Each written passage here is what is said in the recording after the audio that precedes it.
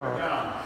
Two, three, bit of trying to keep the pelvis straight. It looks like a side plank, but we're bringing the hip to the ground nine, and we're keeping.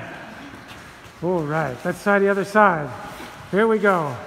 Come on, ladies, here we go. Pelvis forward, pelvis up. two, That's good. That's Three. good.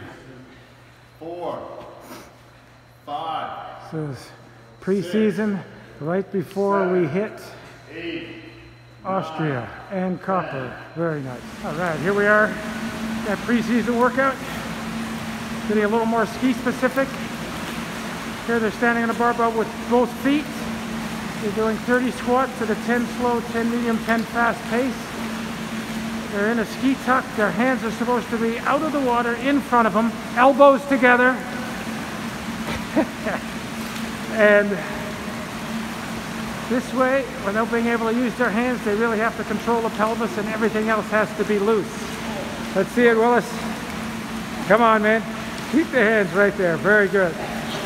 Izzy, we got it? Yeah, okay.